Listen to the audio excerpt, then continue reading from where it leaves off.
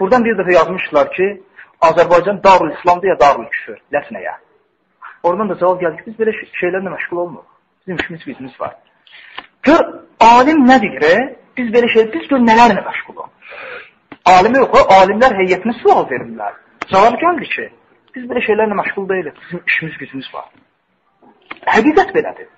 O dəfə oturmuşam məsciddə, biri yaxınlaşıb, qardaş, bura Darül İslamdır, Darül Küfür, nəysə, fikri qaydalarla başa saldı, e, Darül İslamın şərtləri gücüm çıxan qədər, həm də bunu başa düşəcək səviyyədə. Gördüm ki, nəysə, adam var ki, kitab dilinə danışırsan, çatmır da qardaş.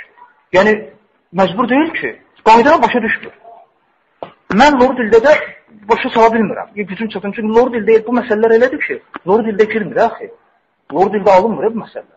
İncə məsələlərdir. Məcbursan ki, şəriətin kəlmələrini deyəsən. Ki, hətta nəsə bir e, boşluq olmasın da. Hə, nəysə qayıtdım, dedim ki, hə, bura darul küfürdür. Sonra, hə, heç nə. O, sonra heç nə. Hə, niyə maraqlanırsan? Heç bir fayda yoxdur, özü dinlədir, sonrası heç nə. Elə belə bir sual verir. O, get başqa şey sual verir də. Sual verir ki, məsələn, spirt nəzir deyə yox. Sonra birdən boğazla kompres bağlayasan, sual ortaya səndə namaz qılım ya yox. Bilsən ki, nəcistə qılmayacaqsan, nəcist deyil qılacaqsan. Sənə lazım olan şey soruş.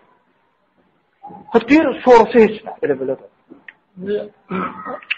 yəni, belə, biraz bana qora, bu şeylər, bir dənə konkret söz deyim, insanları, bu şeylərlə məşğul olanlar var, ha. Bu məsələlərlə girən. Hamısı elmdən məhrumdur. Hamısı. Sual versən ki, yox, e, həvəs də var, e. Deyim ki, həvəs yoxdur, o həvəsini elmə yönətsə, bəlkə bir yaxşı elm tələbəsi olar, o həvəsini elmə yönətsə. Nə? Yəni, məsələn, biz bilirik ki, biz bilirik ki, biz bilirik ki, Məsələn, türk milləti, millət olaraq nədir? İslam. Ümumidir. Baxın, sahabələrin vaxtında fəth edildi bu ölkələr. Bu ölkə girdi İslama. Ümumdan biz, millətdən, millət olaraq. Bu, millət olaraq girdi İslama. 15-ci əsrəcəndə rəsmi şahı məsəbi olub bizdə. Azərbaycanda alimlər olur. İbn Teymiyənin xas tələbələri. Azərbaycanda alimlər olub Zəhəbinin ustadları öz kitablarında yazırlar. İmam Malikin tələbəsi olub Azərbaycanda. Abu Davudun, Tirmizinin, o hədis kitablarının hədis razıları olub Azərbaycanda. Buxardı şərhliyən.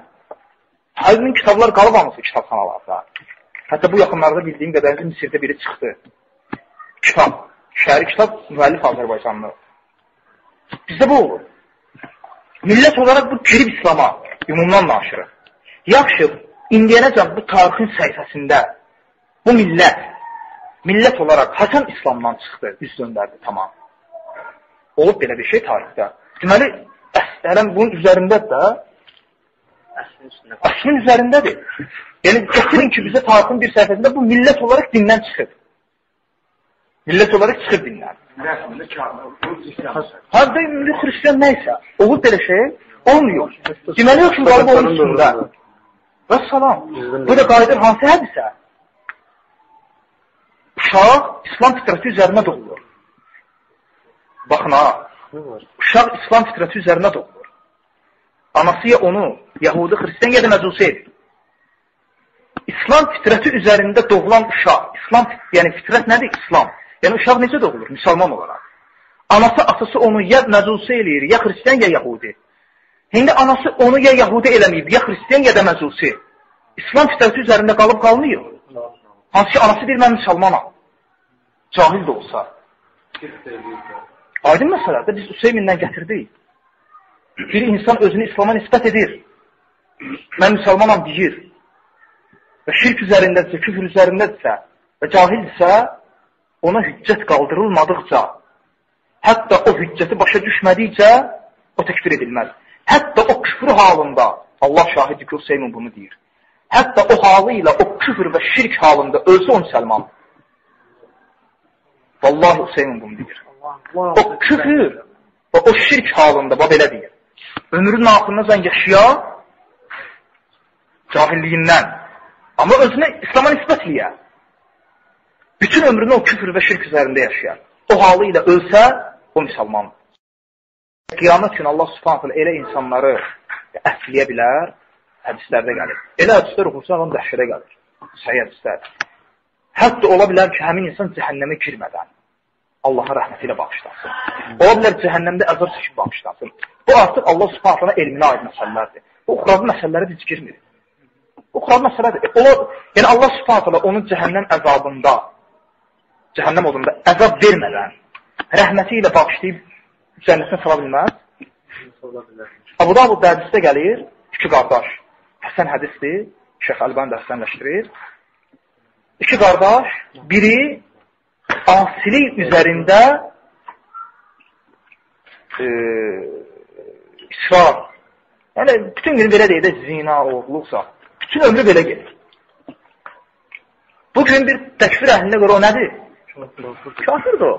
Çünki mən onun zahirində heç nə görmürəm. İşi gücü də zina, oğurluq, şərab, keyf damaqda belə deyək. Hədisdə gəlir ki, bu, bu cür bir adam idi. Onun əksi olan qardaşı isə müctəhidun aləl ibadə. İbadət üzərində çalışqan, demirik, abid. Abid bir insan. Müqasiyə bax. Həmin abid qardaşına nəsiyyət edir. Bir dəfə, iki dəfə axırda deyir ki, Axırda hökm verir. Tələsir hökm verir. Deyir Allaha and olsun sən Deyir ki, e, Allah subhanət hala sən bağışlamayacaq və cənnətinə salmayacaq. Hökm verir də. Hökm verir. Və qiyamət günü bu insanların halı necə olacaq? Allah subhanət hala gətirəcək o abidi, tələsi hökm verəni, hansı ki Allahın adından danışır. Təkfir nədir? Allah Rasulun adından danışmaq. Təkfir şəri hökmüdür. Hükmü şəridir. Hökmü Allah və Rasuluna qayıdır. Allah və Rasulunun təkfir etmədiyi təkfir edilməz. Ona görə hökm verən Allah və Rasulun adından danışır. Ona görə bu təkfirdə birinci əsasdır. Və abidə Allah subhanətələ cəhənnəmə salacaq təkfir elədiyi şəxsi də Allah subhanət hala deyəcək Udxul illəl cənnə bi rəhməti Get cənnətinə gir rəhmətimlə rəhmətimlə Allah subhanət qiyamət günü rəhməti ilə elə şəxsləri bağışlayacaq. İnsan ağlı onu dərk edə bilməz. Çünki heç kəs öz əməli ilə cənnətə girmir. Allah rəhməti ilə cənnətə. Yəni əməldə qalsa, sən cənnətə girə bilməzsən. Sən Allahın rəhməti ilə cənnətə girirsən. Allahın rəhməti genişdir. Necə İbn Qeyyimdir, xavariclər Allahın rəhmətinə səs çəkənlərdir. Elə ki, Allahın rəhmətinə səs çəkiblər. Özlərində spisok var, kimləri təyin edirlər o rəhmətə, kimləri təyin etmirlər. Allah subhanətlə o adamı deyəcək ki, get cənnətə gir rəhmətinlə. Abu Hüreyrə, sahabə bu hədisi nəql edən deyir ki, o şəxs elə bir kəlmə söylədi ki, dünyasını və ahirətini bu kəlmə ilə məhv